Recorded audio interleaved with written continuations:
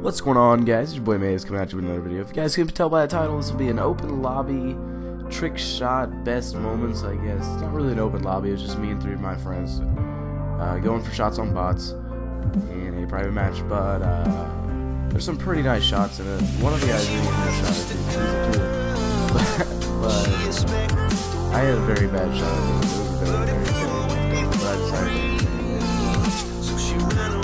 like, comment, subscribe, do all that fun stuff. Them season crazy.